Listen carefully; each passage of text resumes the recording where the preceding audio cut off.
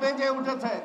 শত হত্যা, গুম, জেলখানায় নিয়োগ খালেদা জিয়া, তারেক সৈনিকদেরকে টেকানো যাবে?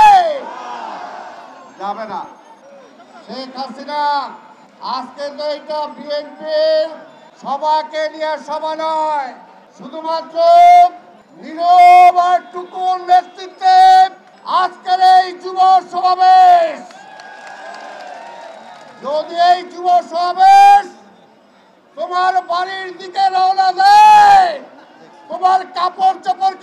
থাকবে। তাই এখনও সময় আছে। বলতে চাই, আগুন, এই বাবা।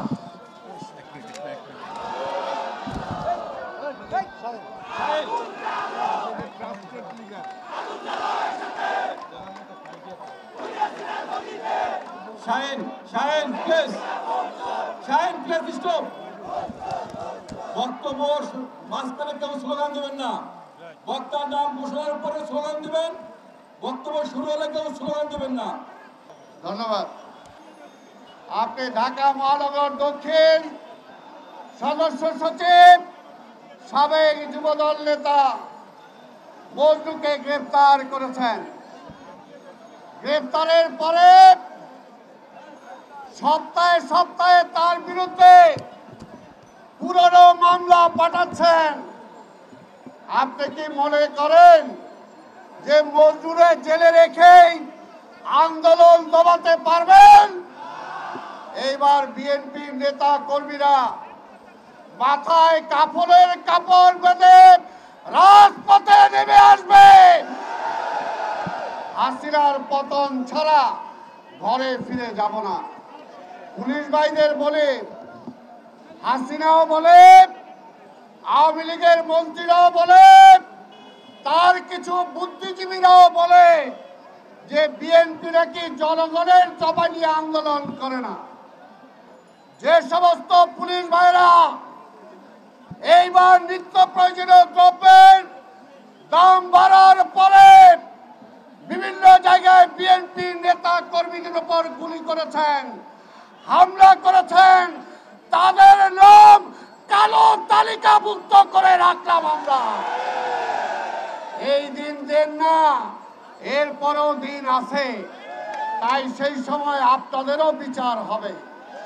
এই সময় আপনারা অনেকের বিচার করেছেন, মন্ত্রীর বিচার করেছেন, আইজির বিচার করেছেন, সেনাবাহিনীর সদস্যদের বিচার করেছেন।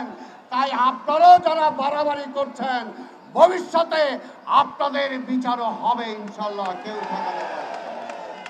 পুলিশ ভাইরা, আপনারা না হয় কয়েকজন রেশন পান।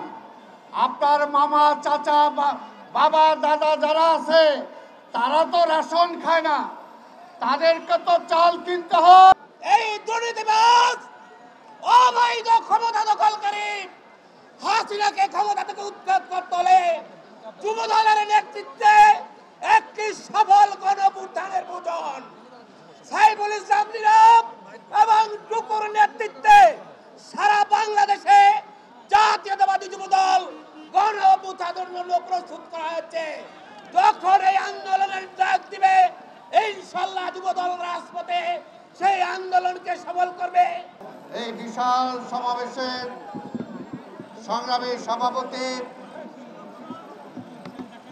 যুব সমাজের নয়ন বলে সাইফুল আলম নীরব উপস্থিত আছেন প্রধান অতিথি, বিএনপির সংগ্রামী মহাসচিব, সাবেক মন্ত্রী, বীর মুক্তিযোদ্ধা মির্জা ফখরুল ইসলাম আলমগীর উপস্থিত আছেন নব্বইয়ের ছাত্র গণ অভ্যুত্থানের সিপাহসালার উত্তর বিএনপির সংগ্রামী আহ্বায়ক জনাব আমানুল্লাহ আমান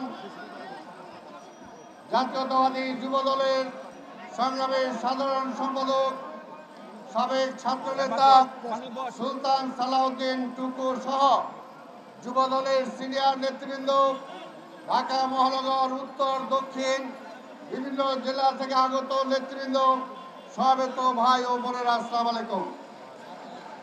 বক্তব্য মহাসচিব দেবেন।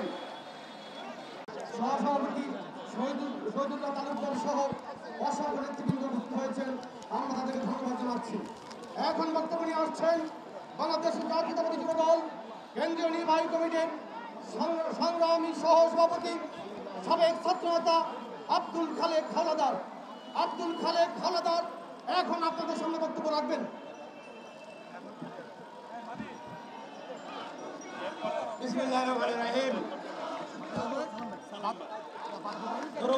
চরম ঊর্ধ্বগতি অবৈধ ক্ষমতা দোতালকারীদের সীমাহীন দুর্নীতির প্রতিবাদে জাতীয়তাবাদী যুবদল কেন্দ্রীয় নির্বাহী কমিটি কর্তৃক আজকের এই প্রতিবাদ সমাবেশের বিপ্লবী সভাপতি দুঃশাসন বিরোধী আওয়ামী দুঃশাসন আন্দোলন সংগ্রামের প্রতীক যুবদল কেন্দ্রীয় নির্বাহী কমিটির বিপ্লবী সভাপতি আমাদের মাঝে উপস্থিত আছেন নব্বই গণ অভ্যুত্থানের মহানায়ক ডাকসুর সাবেক বিপি কেরানীগঞ্জ থেকে বারবার নির্বাচিত, সাবেক এমপি, সাবেক মন্ত্রী, ঢাকা মহানগর উত্তরের বিপ্লবী আহ্বায়ক আমার শ্রদ্ধা গুরু, আমানুল্লাহ মান, আমাদের মাঝে উপস্থিত আছেন মুক্তিযুদ্ধ, আমার শ্রদ্ধা নেতা, ঢাকা দক্ষিণের বিপ্লবী আহ্বায়ক আন্দোলন দিক নির্দেশক বীর মুক্তিযোদ্ধা আব্দুল সালাম ভাই ও বুঝাদার জাতীয়তাবাদী যুব দল কেন্দ্রীয় নির্বাহী কমিটির বিপ্লবী সাধারণ সম্পাদক সুন্দর সালাউদ্দিন টুকু সহ যুবদল কেন্দ্রীয় নির্বাহী সকল নেতৃবৃন্দ, ঢাকা মহানগর উত্তর দক্ষিণের নেতৃবৃন্দ সহ যুবদলের সকল নেতৃবৃন্দকে আমার ব্যক্তিগত পক্ষ থেকে শুভেচ্ছা, অভিনন্দন জানাচ্ছি। বন্ধুগণ বক্তব্য দীর্ঘায়িত করবে না।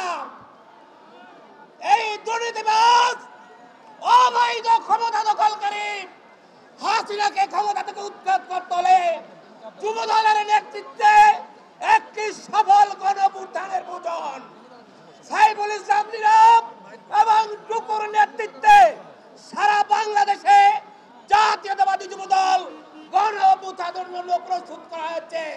যখন এই আন্দোলনের ডাক দিবে, ইনশাল্লাহ যুবদল রাজপথে সেই আন্দোলনকে সফল করবে। এই আশাবাদ ব্যক্ত করে আমার সংক্ষিপ্ত বক্তব্য এখানেই শেষ করছি। সবাইকে ধন্যবাদ। গাজীপুর মনোহরটা বলে গাজীপুর মনোহর গাজীপুর